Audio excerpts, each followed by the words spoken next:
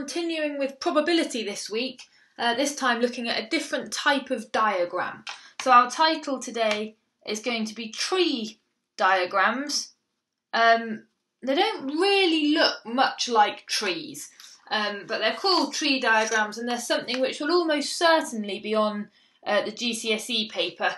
Um, they really, really uh, like this topic. Um, they're a nice way for us to be able to represent um, probabilities and for us to work out the probability of two different things happening at the same time. Um, so let's start. Um, we need a, a scenario. Um, so let's start with. Let's pretend we've got um, just a normal coin. So I've got uh, I've got a coin. I don't know how you want to represent that. Um, I'll just put a pound sign on it. So I've got a normal coin. Uh, and then I'm also going to have a spinner.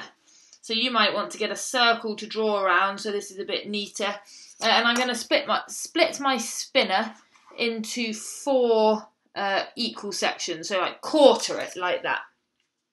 Um, now, whether you want to actually use colour at this point, or whether you want to uh, just write the colour in, it doesn't matter. Let's see if I've got enough colours to try and uh, colour. So I'm going to have a um, a purple section. Um, you could just write purple. Um, oh, my purple pen's not going to work. Hmm, let me scribble on something. Oh no, that didn't go to plan. Right, I'll have a pink section instead. Um, and I'll have um, two black sections and a white section. So I've got a pink, two black, and a white. Um, right, so we're going to toss the coin and we're going to spin the spinner and we're going to see uh, what we get. So we know that when we toss a coin, there's two outcomes. I could get a head or I could get a tail. So we represent that by kind of the first set of branches in my tree diagram. So somewhere down your page a little bit, I need you to draw me two branches. One going up like that and one going down like that. So this is kind of our starting point and this is symbolising that I've got two options. I'm either going to get a head or I'm going to get a tail. So I'm just going to write at the end of this branch, head, and I'm going to write at the end of this branch, tail. So that's representing the two options that I've got to start with. So let's say I got a head. So now I'm here. Well, now I'm going to spin my spinner. And I've got three options, haven't I? I could get a black, I could get a pink, or I could get a white. So coming off from here, I need to have three branches because there's three options for the next thing. Okay, so I could get, um, what could I get? I could get a pink, I could get a black or I could get a white. Okay, so this was this was the coin, this was option 1. So above this first set of branches, let's write coin. So these branches belong to the coin and these branches belong to the spinner. Okay? Right, now let's have a look. Imagine we'd got a tail on our coin and then I spin the spinner. Well, I've still got three options, haven't I, for my spinner? I'm still going to either get pink, black, or white. This isn't going so well, is it? Pink, black, or white. So they're my three options again. So I either imagine walking along it. You either get a head or a tail. So you're either going to walk along here or you're going to walk along here. So let's pretend I got a tail. So I walk along here. So now I'm stood here. Now you spin your spinner, so you're either going to get a pink, a black, or a white. So if you got a white, you'd walk along there. The way we make this a little bit harder, uh, or in other words, in order to get more marks, we have to add the probabilities onto the branches of this tree diagram. So let's think about a coin. Let's pretend it's just a perfectly fair coin, it's not biased. So we think we need to think about the probability of getting a head, or the probability of getting a tail. And we're going to be working in fractions for this. So the probability of getting a head, well, that's a half, isn't it? There's two options, a head or a tail, and we want one of them. Remember, that's how we build probability. So the number on the bottom is the number of options, and the number of top on the top is how many of them we want. And again, for a tail, it's going to be a half. And we write those probabilities on the branches like that. Right, now let's have a look at the spinner. So how many sections are there? So like in the coin, we said how many options were there? Well, there was head or tail. How many sections has my spinner got? Well, my spinner has got four sections. So we know that all of our fractions are going to have a 4 on the bottom because there's four options, there's four sections. Right, how about pink? How many of the sections are pink? One. So I'm going to have one out of four. That's the probability of getting a pink, isn't it? There's four sections and one of them is pink. So there's four sections, that goes on the bottom, and one of them is pink. How about black? Well, there's four sections, so that four's on the bottom. Two of them are black. Now, I know what some of you are thinking. Some of you are thinking, oh, we could simplify that fraction. In fact, this is the only time in maths that I tell you not to bother for now. We're going to leave it like that, and then we might simplify our answer right at the very end. But for now, we're going to leave it like that. It just makes things a little bit easier later on. And then how about white? Well, there's four sections, so four's on the bottom, and one of them is white. And again here, I've got one pink section, two black sections, and one white section. Okay, so that's my completed tree diagram. They might ask us some questions about it. So they might say, for example, what's the probability of getting a head and a pink? Or what's the probability of getting a tail and a black. So let's try and have a look at one of those questions.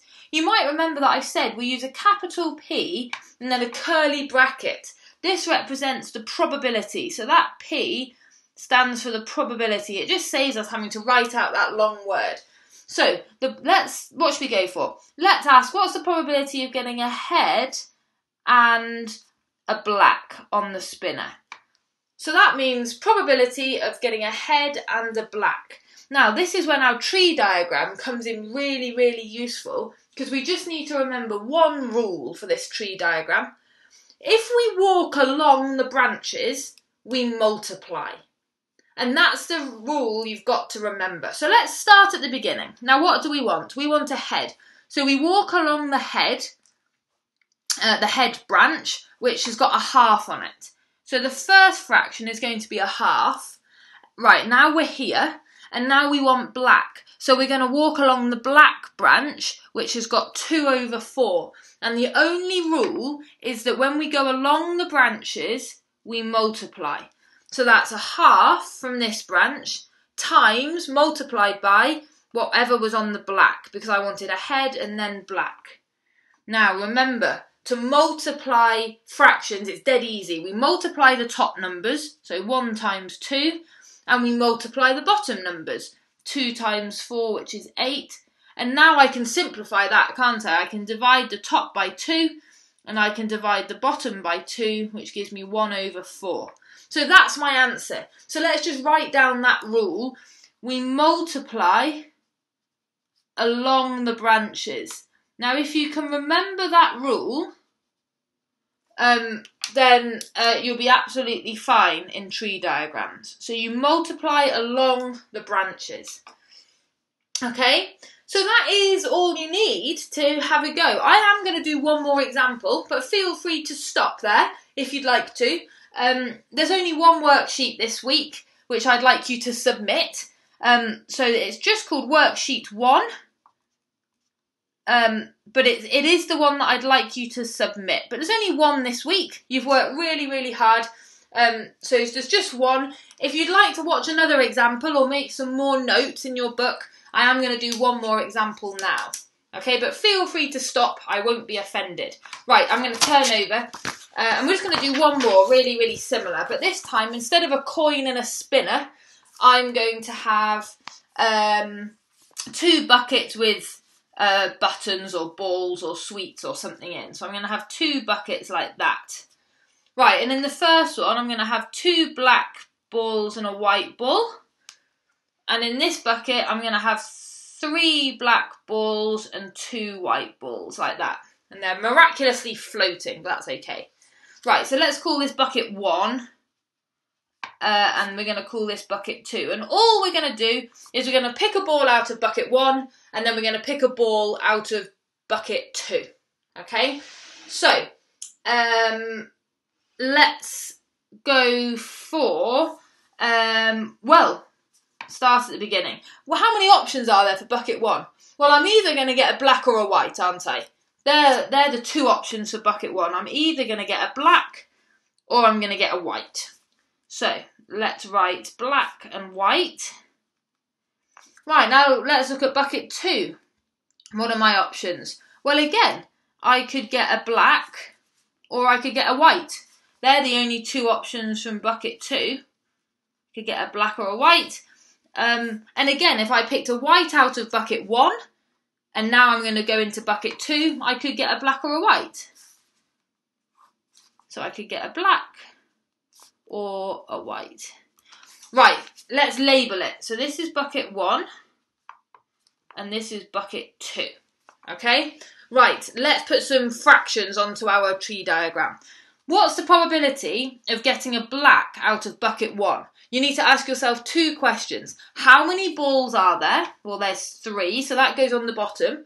And how many of them are what we want? Well, we're on the black branch, so we're looking at the black, and there's two blacks.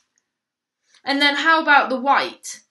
So there's three balls in total. How many of them are white? One. So that's bucket one sorted.